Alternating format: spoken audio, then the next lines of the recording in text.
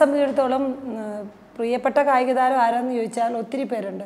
കാരണം എല്ലാ ഗെയിമിലും നമ്മൾ എല്ലാ ഗെയിമിനെയും ഞാൻ ഇഷ്ടപ്പെടുന്നു. അപ്പോൾ ആ ഗെയിമിലൊക്കെ ഉള്ള ഒത്തിരി ആൾക്കാരുണ്ട്.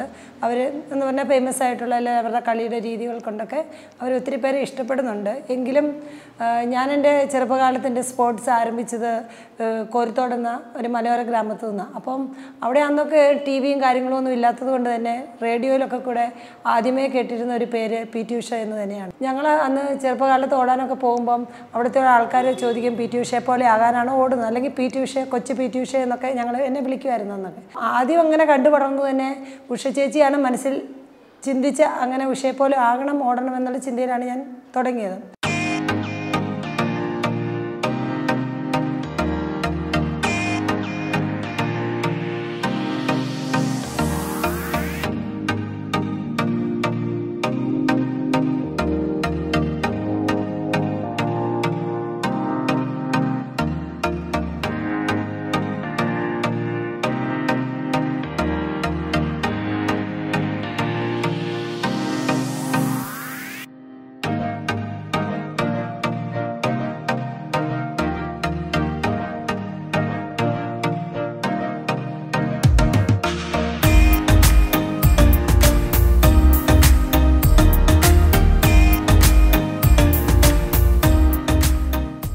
ഏഷ്യൻ ലെവലിലേക്കൊക്കെ വന്നു കഴിഞ്ഞതിന് ശേഷം പിന്നെ വേൾഡ് ലെവലിലുള്ള ആൾക്കാരെയൊക്കെ ശ്രദ്ധിക്കാൻ തുടങ്ങി.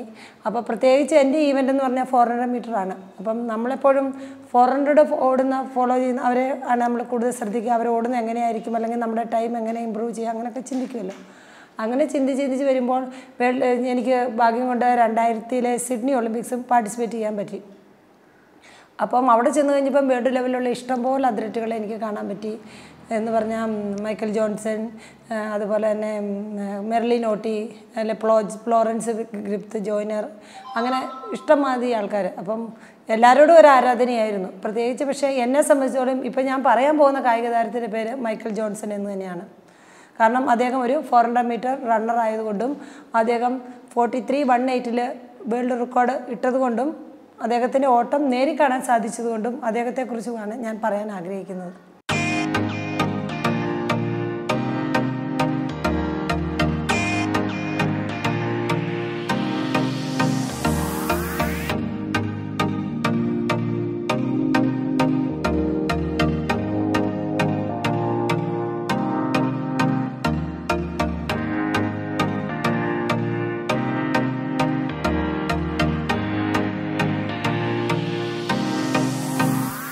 അദ്ദേഹത്തെ ആദ്യമായി കാണാൻ സാധിച്ചത് നയന്റീൻ നയന്റി നയനിലെ സ്പെയിനിൽ നടന്ന വേൾഡ് ചാമ്പ്യൻഷിപ്പിലാണ്. അന്ന് ഞങ്ങളുടെ four hundred metre relay team ഞങ്ങൾ വേൾഡിലെ തന്നെ സിക്സ്ത് ടൈമിൽ വരികയും ഏഷ്യയിൽ ഞങ്ങൾ ഒന്നാം നമ്പർ ആവുകയും അവിടുത്തെ റെക്കോർഡൊക്കെ തറക്കുകയൊക്കെ ചെയ്തതുകൊണ്ട് തന്നെ ഞങ്ങൾക്ക് അവിടേക്ക് വേൾഡ് ചാമ്പ്യൻഷിപ്പിന് സെലക്ഷൻ കിട്ടുകയുണ്ടായി. അപ്പോൾ അവിടെ പോയി ഓടി ഫോർ ഹൺഡ്രഡ് മീറ്റർ റിലേയിലാണ് ഞങ്ങൾ പാർട്ടിസിപ്പേറ്റ് ഞാൻ പാർട്ടിസിപ്പേറ്റ് ചെയ്തത്. പക്ഷേ അതിനു മുമ്പ് രണ്ട് മൂന്ന് ദിവസങ്ങൾക്ക് മുമ്പ് തന്നെ നമ്മൾ അവിടെ എത്തുമല്ലോ അപ്പോൾ അവിടെ എത്തി കഴിഞ്ഞ് കഴിഞ്ഞപ്പം ഫോർ ഹൺഡ്രഡ് മീറ്റർ ഇവന്റെ ഇഷ്ട ഇനമായതുകൊണ്ട് തന്നെ ഫോർ ഹൺഡ്രഡ് മീറ്റർ കാണാൻ വേണ്ടി ഞാൻ ഗ്രൗണ്ടിൽ പോയി. പോയപ്പം അവിടെ ഈ മൈക്കൽ ജോൺസന്റെ ഓട്ടമാണ് അവിടെ നടക്കുന്നത്. അദ്ദേഹം ഓടുന്നത് കണ്ടു കഴിഞ്ഞാൽ നമുക്ക് ഭയങ്കരമായിട്ട് ബോഡിയൊക്കെ സ്റ്റിപ്പ് ചെയ്ത് ചെറിയ സ്റ്റെപ്പിലൊക്കെ ഓടുന്നത്. പക്ഷേ ഒരു ത്രീ ഹൺഡ്രഡ് മീറ്റർ ഓട്ടം തുടങ്ങി ഒരു three hundred metre three fifty metre ആകുമ്പോഴത്തേക്കും അദ്ദേഹം ഓടുന്നത് കണ്ടാൽ നമുക്ക് അങ്ങ് എല്ലാ പുറമെ എല്ലാ കായിക താരങ്ങളെയും പിന്തള്ളിക്കൊണ്ട് അദ്ദേഹം ഒരു ഒരു ഒരു അമ്പത് മീറ്റർ മുപ്പത് മീറ്റർ ലീഡിൽ ഓടും. പക്ഷേ അന്നത്തെ റേസ് എന്ന് പറഞ്ഞു കഴിഞ്ഞാൽ ഏകദേശം പത്തോ പതിനേഴോ വർഷങ്ങൾക്ക് മുമ്പുള്ള റെക്കോർഡാണെന്ന് കേൾക്കാൻ സാധിച്ചത്. നാൽപ്പത്തി മൂന്ന് ഒന്ന് എട്ടിൽ അദ്ദേഹം അന്ന് അവിടെ ആ റണ്ണിങ് ചെയ്തു. അതൊരു വേൾഡ് റെക്കോർഡായി മാറുകയും ചെയ്തു. അത് കണ്ടപ്പോൾ എനിക്ക് വളരെ സന്തോഷം തോന്നി. അതാണ് അദ്ദേഹത്തെ ആദ്യം കാണാൻ സാധിച്ചത്.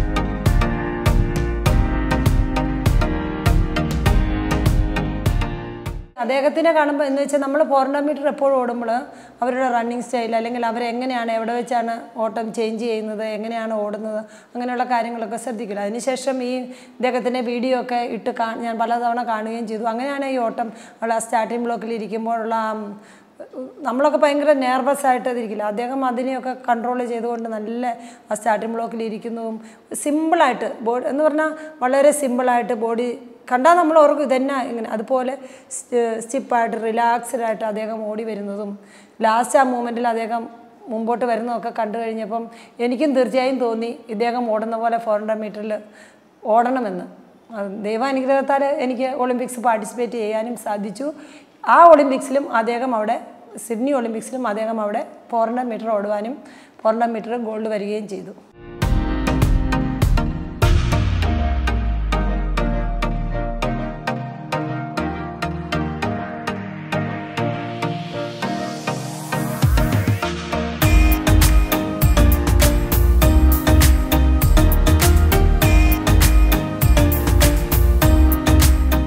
ഏകദേശം ഒരാഴ്ച മുമ്പ് ഞങ്ങൾ ഇവിടുന്ന് പോയി സിഡ്നിയിലേക്ക്. കാരണം അവിടെ പോയി അവിടുത്തെ ഒക്കെ ആയിട്ട് ഇത് ചെയ്യാനും അങ്ങനെ പ്രാക്ടീസ് ചെയ്യാനൊക്കെ വേണ്ടി. അപ്പം ഗ്രൗണ്ടിൽ ഈ കാണുന്ന അത്ലറ്റുകളൊക്കെ വരും. കാരണം ഇന്ത്യൻ അത്ലറ്റുകളും അവരും തമ്മിൽ ഒത്തിരി വ്യത്യാസമുണ്ട്. ഞങ്ങളൊക്കെ സാധാരണക്കാരെ പോലെ പോയി ഒരു അഞ്ചും ആറും റൗണ്ട് ഓടി വാമപ്പ് ചെയ്ത് റണ്ണിങ് എ വി സി ആണെങ്കിലും അതിന്റെ സ്ട്രിൽസൊക്കെ ചെയ്യാൻ കുറേ ഏകദേശം ഒരു ഒരു മണിക്കൂറോളം ചെയ്ത് നമ്മുടെ എല്ലാം കഴിഞ്ഞ ശേഷമാണ് നമ്മൾ ഓടാൻ തുടങ്ങുന്നത്. പക്ഷേ അവിടുത്തെ അത്ലറ്റിൽ ഇവരെ പോലുള്ളവരൊക്കെ അവർ വരുമ്പോൾ ഉണ്ടല്ലോ അവരുടെ കൂടെ ഒരു മസാജർ ഉണ്ടാവും അല്ലെങ്കിൽ ഒരു ഡോക്ടർ ഉണ്ടാവും അല്ലെങ്കിൽ അവരെ കെയർ ചെയ്യുന്നതിന്. അവർ നമ്മളെപ്പോലെ ഇങ്ങനെ കിടന്ന് ഓടുമൊന്നുമില്ല അവർ നല്ല രീതിയിൽ അന്നത്തെ പറയുന്ന കേട്ടോ ഇന്ന് നമ്മുടെ ഇന്ത്യൻ അത്ലറ്റിക്സിന്റെ മാറി പ്രോപ്പർ രീതിയിലൊക്കെ ആയി. അന്ന് നമുക്ക് അത്ര അറിവും ഒന്നും ഇല്ലാത്തത് കൊണ്ട് തന്നെ അങ്ങനെയൊക്കെ ആയിരുന്നു കാര്യങ്ങൾ. ഇവരെ പ്രോപ്പറായിട്ട് അവരെ എക്സസൈസ് ചെയ്യിപ്പിക്കുകയും മസാജ് ചെയ്യിപ്പിക്കുകയും അതിനുശേഷം സ്ട്രെച്ചിങ് അവർ തന്നെ ചെയ്യിപ്പിച്ചു കൊടുക്കും ഫിസിയോതെറാപ്പിസ്റ്റ് കൂടെ ഉണ്ടാവും. അങ്ങനെയൊക്കെ പക്ഷേ അവർ ഓടാൻ തുടങ്ങി. പിന്നെ അവർ സ്പൈക്സ് ഇട്ട് ചെറുതായ രീതിയിൽ സ്ട്രൈഡ് ചെയ്യുക അങ്ങനെയൊക്കെ രീതിയിലാണ് എനിക്ക് അവിടെ കാണാൻ സാധിച്ചത്. ഞങ്ങൾ പലതവണയും അദ്ദേഹത്തെ കണ്ടിട്ടൊന്ന് കൂടെ പോയി ഒന്ന് ഫോട്ടോ എടുക്കാൻ വേണ്ടി ശ്രമിച്ചു നോക്കി പക്ഷേ കിട്ടിയില്ല. ഞങ്ങൾക്ക് മൗറി സ്ക്രീനിന്റെ കിട്ടി. മൗറി സ്ക്രീനിന്റെ കൂടെ നമ്മുടെ റോസക്കുട്ടി ചേച്ചി കെട്ടിപ്പിടിച്ചിരിക്കുന്ന ഒരു ഫോട്ടോ അന്ന് മനോരമ പേപ്പറിൽ വരികയുണ്ടായി. പക്ഷേ ഈ പുള്ളിക്കാരനെ ഞങ്ങൾക്ക് കിട്ടിയില്ല ഫോട്ടോ എടുക്കുവാനും. കാരണം ആൾ അത്ര ബിസിയാണ്. പക്ഷേ ദൂരെ നിന്ന് അദ്ദേഹം കാണിക്കുന്ന കാര്യങ്ങളും ഒക്കെ കാണുകയും ചെയ്തു. പിന്നെ ഫോർ ഹൺഡ്രഡ് മീറ്റർ ഈവന്റിൽ അന്ന് ബീനാമോൾ ഇൻഡിവിജ്വൽ ഓടുന്നുണ്ടായിരുന്നു. എപ്പോഴും ഗേൾസ് വനിതകളുടെ കഴിഞ്ഞ് കഴിഞ്ഞാണ് അല്ല അല്ലെങ്കിൽ പുരുഷന്മാരുടെ കഴിഞ്ഞാണ് വനിതകളുടെ വരും. അതുകൊണ്ട് തന്നെ ഞങ്ങൾ ഈ ഫോർ ഹൺഡ്രഡ് മീറ്റർ കാണാൻ വേണ്ടി സിഡ്നി ഒളിമ്പിക്സിന്റെ സമയത്ത് അവിടെ എല്ലാ സെമി ഫൈനലിലോ ഹിറ്റ്സ് തൊട്ട് സെമി ഫൈനൽ തൊട്ട് എല്ലാ അദ്ദേഹത്തിന്റെ റണ്ണിങ് എനിക്ക് കാണാൻ സാധിച്ചു. അതിലന്ന് അദ്ദേഹം ഫോർ ഹൺഡ്രഡ് മീറ്ററിൽ ഫസ്റ്റാണ് വന്നത്. അതും forty three eight eight three സംതിങ്ങിലാണ് അദ്ദേഹം ഓടിയത്. പക്ഷേ അദ്ദേഹത്തിന് ബെറ്റർ ടൈം ചെയ്യാൻ സാധിച്ചില്ല. അവിടെ അദ്ദേഹം four into four hundred metre റിലേയും ചെയ്തിരുന്നു.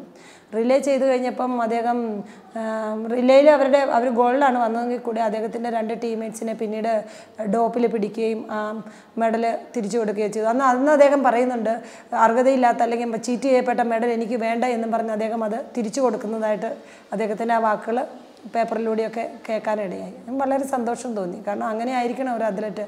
അതിനുവേണ്ടി മെഡൽ കിട്ടാൻ വേണ്ടി എന്തും ഉപയോഗിച്ച് ഡ്രഗ്സും കാര്യങ്ങളും ഉപയോഗിച്ച് ചെയ്യരുത്. സ്വന്തം കഠിനാധ്വാനത്തിലൂടെ സിൻസിയറായിട്ട് ചെയ്യണം. അങ്ങനെ ഒരു മനോഭാവം അദ്ദേഹത്തിൽ എനിക്ക് കാണാൻ സാധിച്ചു.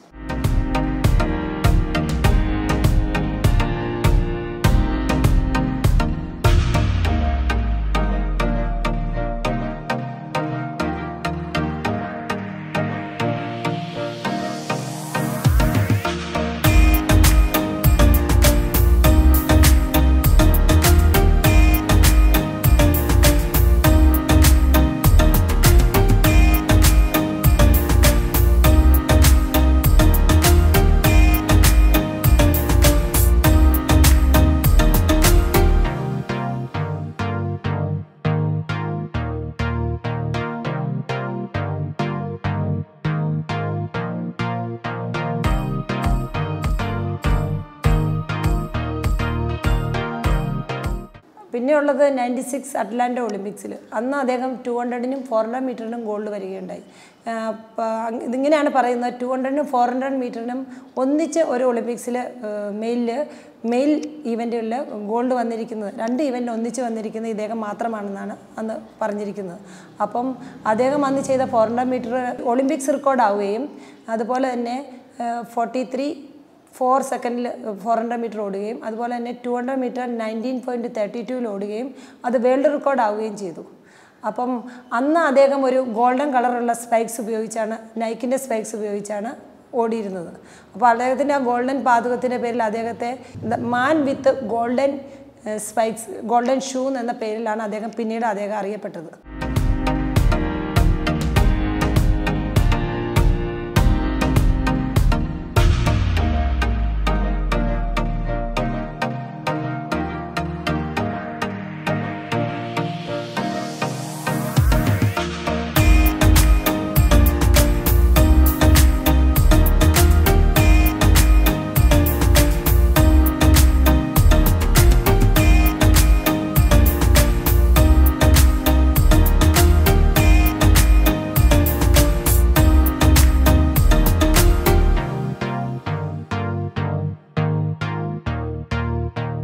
അദ്ദേഹം ഇപ്പോൾ വിരമിച്ചതിന് ശേഷം അദ്ദേഹം സ്പോർട്സ് രംഗത്ത് തന്നെ തുടർന്നുകൊണ്ടിരിക്കുകയാണ്. പിന്നെ അതിലും ഒരു കാര്യം കൂടിയുണ്ട്. നയന്റി നയൻ ഏഷ്യ വേൾഡ് ചാമ്പ്യൻഷിപ്പിന് ഞാൻ പറഞ്ഞല്ലോ അദ്ദേഹം ഓടിയതിനെക്കുറിച്ച് അന്ന് യു എസ് ടി ഇമെയിൽ അദ്ദേഹത്തിന് ഇടം കിട്ടിയിരുന്നില്ല. അദ്ദേഹം അദ്ദേഹം വേൾഡ് റെക്കോർഡ് ഇടുമ്പം. കാരണം അദ്ദേഹം എഞ്ചുറി ആയതുകൊണ്ട് അദ്ദേഹത്തിന് ഓടാൻ നല്ല രീതിയിൽ ഓടാൻ പറ്റാത്തത് കൊണ്ട് പിന്നെ അവർ യു എസ് ടീമുകാർ അവർക്ക് അദ്ദേഹം ഇട കൊടുത്തില്ല. എന്ന് പറഞ്ഞാൽ എൻട്രി കൊടുത്തില്ല. അപ്പോൾ എന്നെ ചെയ്തു? അദ്ദേഹം ഐ ഡബ്ല്യു എഫിന്റെ ഒരു എൻട്രി ഉണ്ട് ഡിപ്പെൻഡർ എന്ന് പറഞ്ഞാൽ കഴിഞ്ഞ കാലങ്ങളിലെ ഓട്ടം അല്ല ഇയറിലെ ഓട്ടം നോക്കി ഒരു മനുഷ്യന് സെലക്ട് കൊടുക്കുക അങ്ങനെ. അങ്ങനെ ഫോർ ഹൺഡ്രഡ് നാലാമത്തെ സ്ഥാനത്ത് നിൽക്കുമായിരുന്നു അങ്ങനെയാണ് അദ്ദേഹത്തിന് അന്ന് സെലക്ട് കിട്ടി സെലക്ഷൻ കിട്ടിയതും അദ്ദേഹം ഓടിയത്. അതായിരുന്നു അദ്ദേഹത്തെ ആ വേൾഡ് റെക്കോർഡിലേക്ക് ഫോർ ഹൺഡ്രഡ് മീറ്ററിൽ എത്തിച്ചത്. എന്നു വെച്ചാൽ കൂടുതൽ ആരാധന തോന്നാൻ കാരണം ഒരു സ്പോർട്സ്മാൻ ആയിരുന്നു. അതിനുശേഷം ഞാനും അതുപോലെ തന്നെയാണ്. ഇപ്പം അദ്ദേഹത്തിന്റെ പാത പിന്തുടർന്നുകൊണ്ടിരിക്കുകയാണ്. ഒളി എന്റെ സ്പോർട്സ് കരിയറിൽ ചേച്ചി കോച്ചിങ്ങിനായിട്ട് അല്ലെ കുട്ടികളെ പരിശീലിപ്പിക്കുന്നതും അവരുടെ കാര്യങ്ങൾ ചെയ്യുന്നതും ഒരു കോച്ചായിട്ടാണ് ഞാൻ പിന്നെ അതുപോലെ തന്നെ അദ്ദേഹവും എന്ത് ചെയ്തു? അദ്ദേഹം അദ്ദേഹത്തിന്റെ ഒരു ഇൻസ്റ്റിറ്റ്യൂട്ട് മൈക്കൽ ജോൺസൺ അക്കാദമി മാതിരി ഒരെണ്ണം തുടങ്ങുകയും അവിടെ കുട്ടികളെ പരിശീലിപ്പിക്കുകയും മറ്റുള്ള ഫിസിക്കൽ ഫിറ്റ്നസ് ആവശ്യമുള്ളവർക്ക് അതിന്റെ കാര്യങ്ങൾ പറഞ്ഞു കൊടുക്കുകയും അവരെ ചെയ്യിപ്പിക്കുകയും ഭാവിയിലെ യു എസ് എയിൽ അല്ലെങ്കിൽ ഒളിമ്പ്യന്മാരെ കണ്ടുപിടിക്കുന്നതിനും അവർക്ക് മെഡൽ നേടുന്നതിനുമുള്ള പരിശ്രമത്തിലൊക്കെയാണ് അദ്ദേഹം ഇപ്പോൾ